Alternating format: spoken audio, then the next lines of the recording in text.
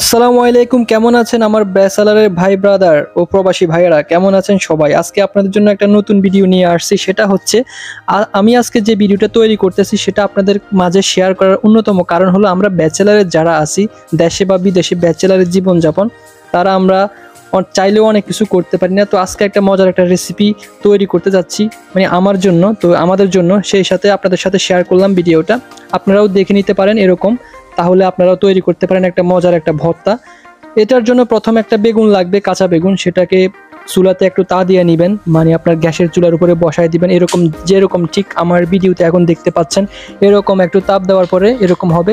তারপর ধনিয়া পাতা কাটিং করে নেবেন, পরিমাণ মতো। এরপরে পেঁয়াজ নেবেন পরিমাণ মতো। আপনার একটা, দুইটা, যেটা যেরকম পরিমাণ লাগে আর কি, পরিমাণ মতো। তারপর রসুন এক, দুই কোয়া বা হালকা একটু আদা এরপরে সবগুলো মিক্স করবেন।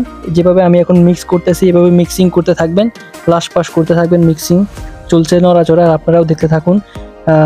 দেখা যাক সর্বশেষে কি হয়। তারপর আপনারা পরিমাণ মতো লবণ মিক্স করতে পারেন। যদিও আমরা এখন এই মুহূর্তে লবণ মিক্স করতেছি, পরিমাণ মতো দিবেন। অতি বেশিও না, আবার একদম কমও না। তো লবণ দেওয়ার পরে আবার মাখামাখি করবেন। এরপর চাইলে সরিষার তেল দিতে পারেন। দিলে একটু ভালো যে একটা স্মেল আসবে গ্রান আসবে, ওটা সুস্বাদু। খাইতে আরও টেস্ট লাগবে, এটা দিতে পারেন। তো পরিশেষে প্রায় হয়ে গেছে, হয়েই গেছে। মজাদার একটা রেসিপি একটা ভর্তা গরম ভাতের সাথে, ডাউলের সাথে, সেই অসাধারণ। আপনারাও চাইলে এরকম করে তৈরি করতে পারবেন। শুধুমাত্র ব্যাচেলার ভাই ব্রাদাররা, কারণ মহিলারা তো এই রেসিপিটা জানে। তো সম্পূর্ণ তৈরি করার পরে আমাদের এখন ঠিক যেরকম দেখতে পাচ্ছেন, সেরকম হবে। অবশ্যই লোভনীয়।